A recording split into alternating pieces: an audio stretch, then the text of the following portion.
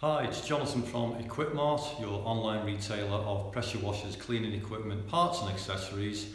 I wanted to show you the new 900mm long stainless steel lance. It's got a adjustable uh, nozzle holder on the end, so you can have it in the straight position, or you can push in the button, twist it, and then it'll lock into place. So that will allow you to alter the angle of your uh, nozzle or cleaning jet and you can also alter it down as well. So it's a handy tool to have if you're perhaps cleaning off uh, gutters or conservatory roofs, um, just handy for sort of leaning over. Now the uh, nozzle holder itself, uh, it suits the normal pushing uh, nozzles, so that would just lock into place there.